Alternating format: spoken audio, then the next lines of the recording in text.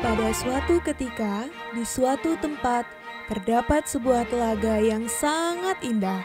Telaga tersebut bernama Telaga Kumudasara. Airnya sangat jernih dan di tengahnya tumbuh bermekaran banyak bunga teratai. Di sekitarnya hidup sekumpulan ikan. Ikan-ikan tersebut hidup sangat rukun dan bahagia.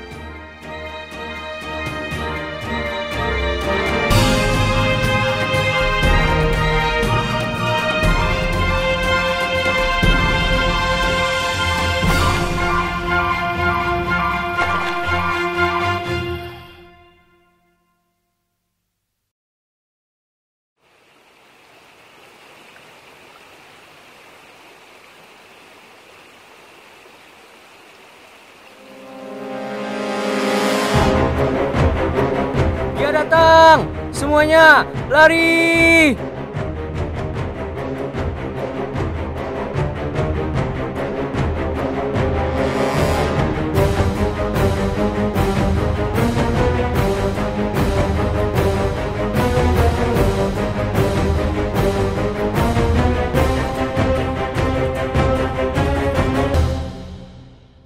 Ternyata yang datang adalah seekor bangau. Namun, sungguh aneh. Bangau tersebut tidak memangsa ikan-ikan, melainkan hanya berdiri di atas satu kaki di pinggiran telaga. Nampaknya bangau itu bukan bangau biasa. Dengan rasa penasaran, si kata mulai mendekat ke arah bangau tersebut. Siapakah Anda, wahai bangau?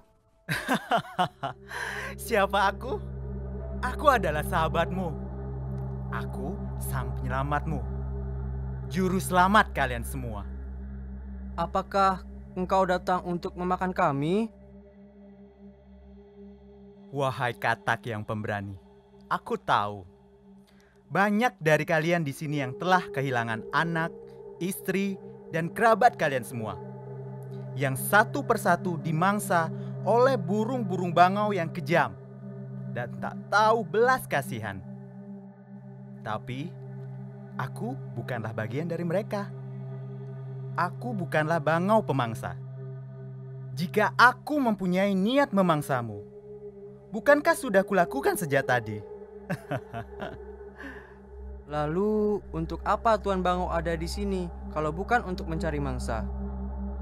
Anakku, aku tahu penghuni Telaga Kumudasara adalah makhluk-makhluk yang baik, yang layak hidup tenang, tanpa dihantui rasa takut dan ancaman dari pemangsa mana pun. Untuk itulah, aku, sang pedanda bake, ada di sini. Aku dikirim oleh Yang Maha Kuasa untuk menjadi juru selamat dan guru kalian. Mengajari kalian tentang kehidupan yang baik dan pastinya berdasarkan pada ajaran-ajaran agama. Sepertinya bangau ini bukan bangau pemangsa. Benar, sepertinya dia bangau yang baik. Biasanya seekor bangau akan datang tiba-tiba lalu memburu kita. Tetapi bangau yang satu ini terlihat bijak. Teman-teman, keluarlah. Beliau benar-benar baik. Beliau adalah pedanda bake. Beliau seorang pendeta utusan yang maha kuasa. Satu persatu, ikan-ikan yang tadinya bersembunyi mulai bermunculan ke permukaan. Mereka mulai berani mendekati sang bangau. Anak-anakku, kalian tak perlu takut ataupun curiga terhadapku. Aku bukanlah bangau seperti yang lain, yang memangsa sesama makhluk hidup tanpa belas kasihan. Aku meyakini bahwa jika aku melakukan perbuatan yang baik, kelak di kehidupan mendatang, aku akan menjelma menjadi makhluk yang lebih baik. Itu merupakan inti dari ajaran karma pala. Benar yang mulia pendeta. Kami semua juga ingin lahir menjadi makhluk yang lebih baik di kehidupan mendatang. Mohon ajarkan kami caranya, Tuan. Apakah kalian yakin? Benar-benar ingin mengetahui ajaran kebaikan? Ya, kami sangat yakin Tuan Pendeta. Kami akan bersungguh-sungguh untuk belajar. Anak-anakku, ketahuilah, ajaran kebaikan itu sangat berat. Kalian harus menjalankan ajaran agama, tulus berbakti kepada Yang Maha Kuasa, dan yang terpenting harus menuruti kata-kata guru. Tentu, tentu guru. Kami akan menuruti semua kata-katamu. Benar kan teman-teman? Ya, ya, ya, tentu saja. Untuk lahir kembali menjadi makhluk yang lebih baik, kami akan berbakti padamu, Guru. Pedanda Bake menceritakan banyak kisah, menuturkan banyak kebijaksanaan, dan mengajarkan ajaran agama. Rupanya, para penghuni telaga itu telah menerima sang pendanda Bake sebagai guru sekaligus penuntun hidup mereka. Tahukah kalian bahwa ternyata bangau itu sangatlah baik? Tidak seperti bangau-bangau yang lain yang memangsa teman-teman kita. Benar, kita tidak perlu merasa ketakutan lagi.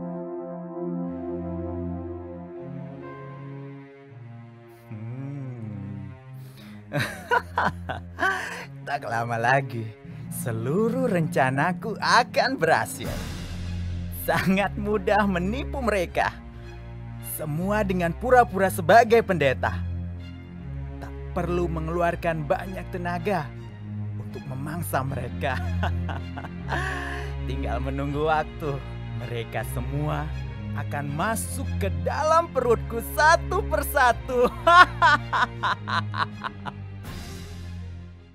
Pada suatu pagi yang cerah, sang pedanda Bake berdiri di pinggir telaga Kumudasara. Tak sepatah kata pun keluar dari mulutnya.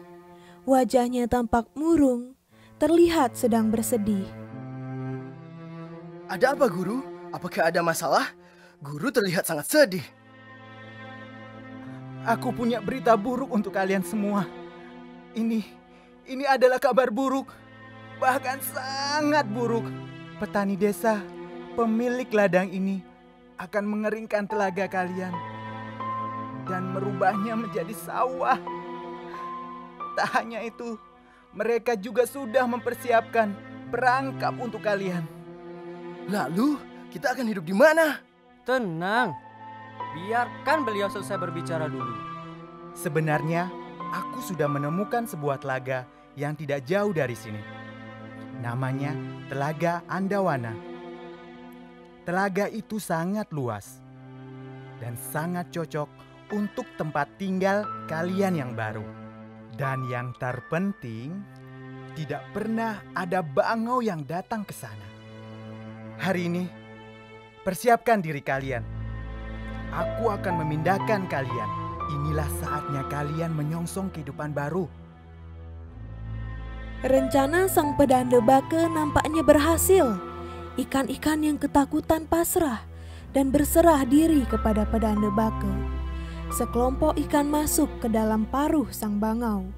Kemudian diterbangkannya dari telaga Kumudasara. Setelah terbang beberapa menit, bangau mendarat di sebuah bukit. Tak tampak sedikit pun telaga yang dijanjikan olehnya. Yang mulia, apakah kita sudah sampai? Di mana telaganya? Aku tidak melihatnya. Apa? Telaga? Telaga mana yang kau maksudkan? Tidak ada telaga apa pun di sini. Kita memang sudah sampai. Kita sudah sampai pada kematian kalian semua. Bangau yang jahat dan licik itu pun memakan satu persatu ikan tersebut tanpa rasa belas kasihan sedikit pun. Pada hari ketiga, Telaga Kumudasara sudah benar-benar sepi. Seluruh penghuninya telah pergi dibawa oleh pedanda Bake. Yang tersisa hanyalah seekor kepiting. Hmm. Sudah bosan aku makan ikan sejak dua hari yang lalu. Kini saatnya mencoba sesuatu yang baru. Mungkin daging kepiting enak juga. Mari, bergegaslah anakku. Terima kasih, Yang Mulia Pedanda Bake. Betapa senangnya kepiting. Akhirnya ia dapat terbang bersama bangau itu. Wah, indah sekali pemandangan dari atas sini. Tentu saja anakku. Setelah ini kau akan melihat pemandangan yang lebih indah lagi. Pemandangan yang akan membuatmu sangat terkejut. Benar saja, keceriaan wajahnya itu berubah saat ia sampai di sebuah bukit. Tampak pemandangan yang benar-benar menyayat hati. Tulang-tulang ikan, bangkai teman-temannya yang berserakan dia mulai sadar ini semua adalah perbuatan sang pendanda bake. Kau, kau memakan mereka semua? Kalian memang baru sadar setelah semua rencanaku berhasil. sadar saat semuanya sudah terlambat. Memang sudah sepantasnya kan? Aku memakan kalian? Jadi, benar-benar kaulah yang membunuh mereka. Aku? Aku hanya memanfaatkan keadaan. Memanfaatkan kebodohan mereka. Seharusnya mereka lebih percaya terhadap Tuhan, bukan kepada pemangsa seperti aku. Tega sekali kau membohongi kami. Ternyata semua ini adalah tipu dayamu. Kau, kau bukanlah seorang pedanda. Kau hanyalah bangau yang licik. Kalian aja yang gampang dibodohi.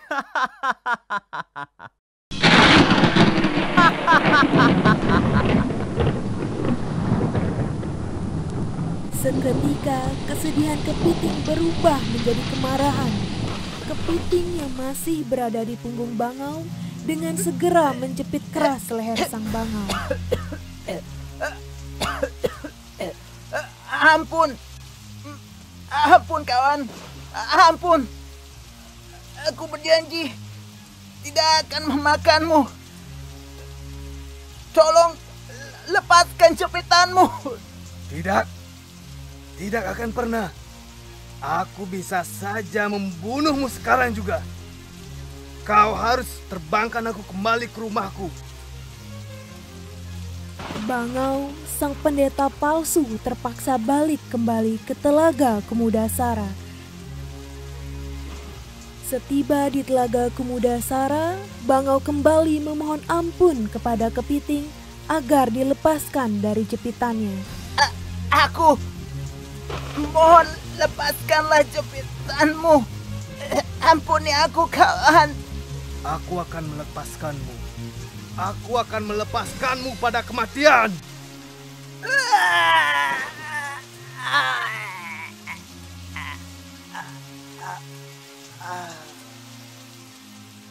Bangau pada akhirnya mati di tangan kepiting. Bangau telah menerima hasil dari seluruh perbuatan jahatnya.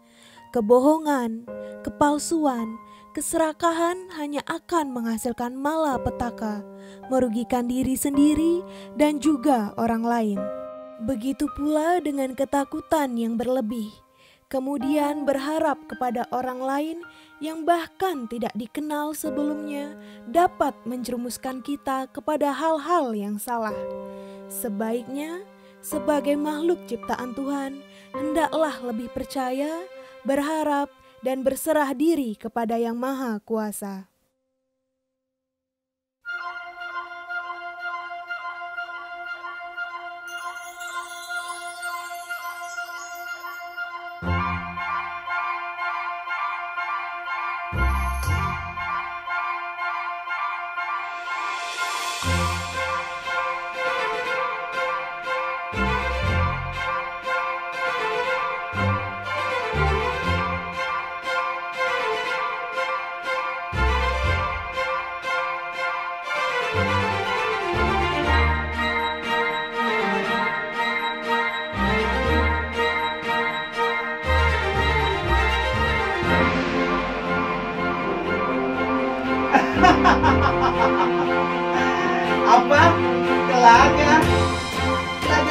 Yang kau maksudkan? Tidak ada telaga apa pun di sini.